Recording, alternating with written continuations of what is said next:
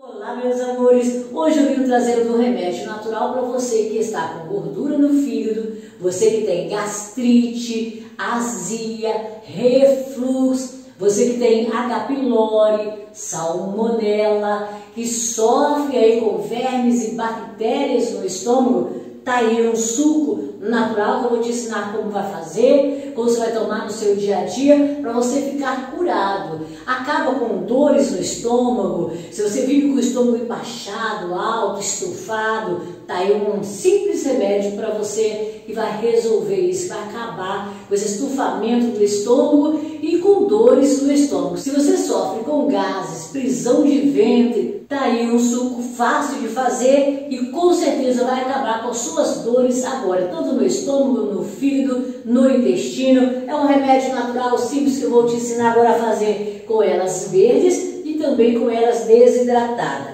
Se você for usar cebolinha verde, você vai pegar três, assim, três folhas de cebolinhas para usar, tá bom? Agora, se você for usar cebolinha desidratada, é uma colher de sopa de cebolinha desidratada. Eu vou te falando aqui no decorrer do vídeo.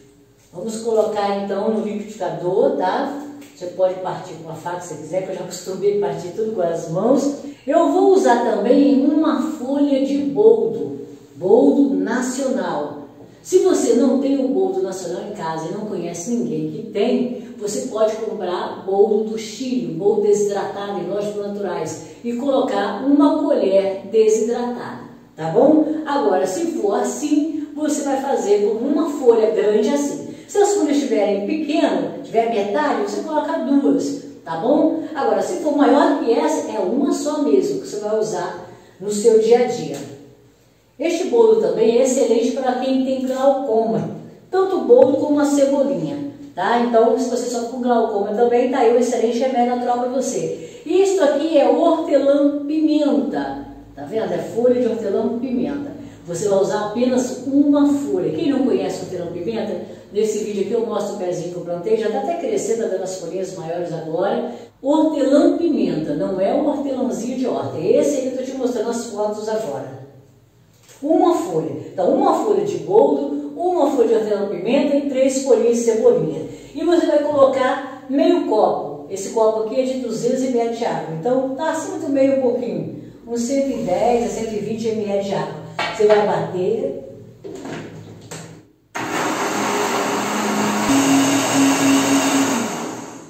Deixe bater bem, tá? Porque você não vai coar. O segredo desse suco é não coar, tá? Senão você vai jogar os ingredientes fora. Então você vai usar assim, sem coar. Você vai tomar essa medida aqui, que dá um copo, todos os dias, durante 21 dias seguidos. Meia hora antes do almoço. Você vai fazer assim. Quando tiver faltando duas horas para você almoçar, você não come mais nada. Mais nada. Não belisca nada. Você pode comer, tomar o seu café da manhã, lanchar, até quando vai faltando duas horas para almoçar. Você vai almoçar meio-dia, então você come até 10 horas. Você vai almoçar duas horas, então você come até meio-dia. Do jeito que você fica duas horas antes do almoço sem comer nada. Aí quando estiver faltando 20 minutos a 30 minutos antes de almoçar, você vai tomar esse copo, tá bom? Todos os dias, durante 21 dias. Eu tenho certeza que quando ficar 21 dias, se você tem H. pylori, essas bactérias no estômago, como salmonella e outras, é, vermes, está é, com gordura no fígado, você vai ver como que está. Você pode fazer exame, você vai ver a cura através desse simples suco. Folha de hortelã-pimenta, folha de boldo e folha de cebolinha. A cebolinha é essa aqui, estou mostrando na foto agora, o hortelã-pimenta já mostrei esse aqui, e o boldo nacional este aqui. Eu vou deixar tudo na descrição do vídeo para você, para te facilitar, tá bom? Tá aí então a minha dica de hoje para você, que você que está sofrendo com dores no estômago e no fígado e também tem glaucoma, é um excelente remédio natural para você. Suco 20 a 30 minutos antes do almoço durante 21 dias, ok? Obrigado pelo carinho, muito obrigado por ter assistido mais um dos meus vídeos. Espero que tenha gostado da dica de hoje. Simples e fácil, mas o resultado é excelente. Fiquem com Deus. Beijos. Tchau, tchau.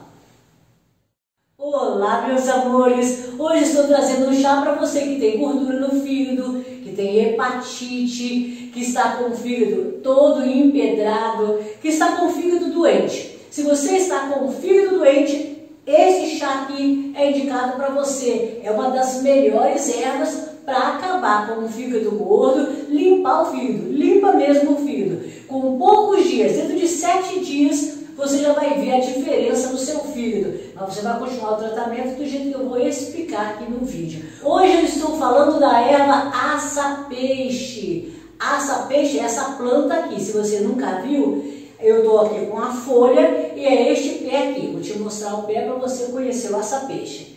Você pode usar as folhas verdes, eu tenho aqui as folhas verdes, e tem elas assim desidratadas, que é o mais fácil para você encontrar, que nem todo mundo tem um pé de aça-peixe em casa.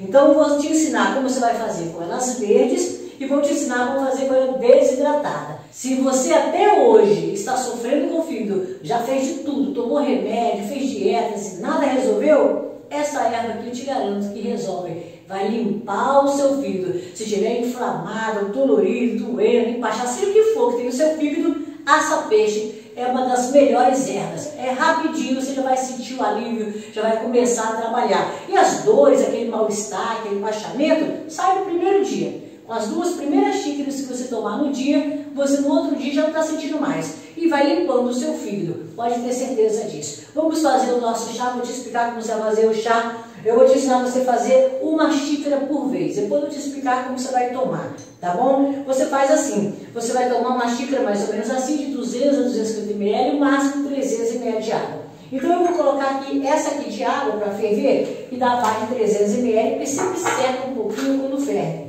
Então, para não ficar tão pouco, tá bom?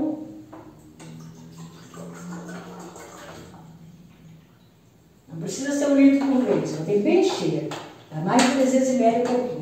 Aí coloca para ferver no seu fogão, na sua panela ou na sua chaleira elétrica, tá? Para fazer o seu chá. Se você for fazer com elas verdes, você vai colocar cerca de três folhas, se for desse tamanho. Se você tem folha verde em casa enorme, meu pé está pequenininho.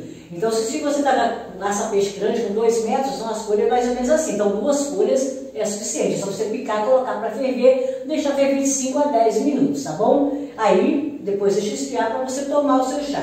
Agora, se for desidratada, você vai fazer igual eu vou fazer agora. Vai deixar a água ferver primeiro. Então, daqui a pouquinho eu volto com você. Assim que a água ferver, você pode colocar uma colher de sopa ela desidratada. Deixa a água ferver primeiro, tá bom? Aí você desliga o fogo estiver com o fogo ligado ou a chaleira elétrica ligada, se você colocar assim, vai acontecer, vai subir, vai entornar, tá bom? Dá uma misturadinha. Eu faço assim, sempre eu deixo ferver mais 30 segundos, às vezes até um minuto, porque essas ervas são compradas em lojas de produtos naturais. Eu trabalho com elas e sei como é que é, que vem em sacos grandes, 5, 10, 15, 20 quilos. Não é igual aquelas que vem em saquinho. Então sempre eu deixo ferver 30 segundos mais ou menos, tá bom? Então deixa ferver 30 segundos. Ferveu 30 segundos, deixa esfriar. Seu fogão a sua chaleira e deixa esfriar, tá bom? Então daqui a pouquinho eu volto com você. Assim que esfriar um pouco, você já pode coar para você tomar a sua primeira xícara.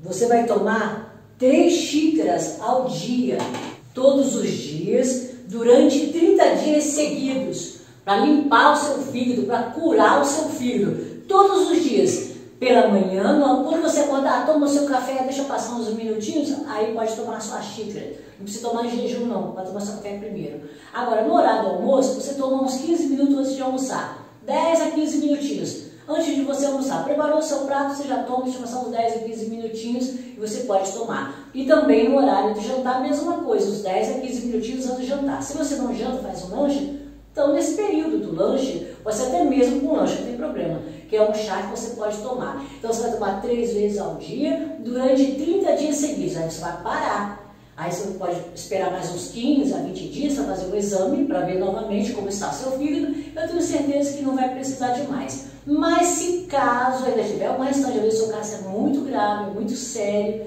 já tem muito tempo que você está sofrendo do fígado, aí você toma novamente mais 30 dias, deixa descansar uns 7 dias, uma semana e toma aí mais 30 dias seguidos ok? Ou se você quiser também, pode manter com uma xícara todo dia no horário do jantar ou no horário do almoço, você escolhe, ou no horário do almoço, no horário do jantar, uma, o tempo que você quiser para acabar de ser curado, tá bom? Essa foi a minha dica de hoje para você, espero que você tenha gostado, se você gostou, dá um like aí no vídeo para ajudar o canal a crescer. Muito obrigado pelo carinho, muito obrigado por ter assistido mais um dos meus vídeos. Fiquem com Deus. Beijos. Tchau, tchau.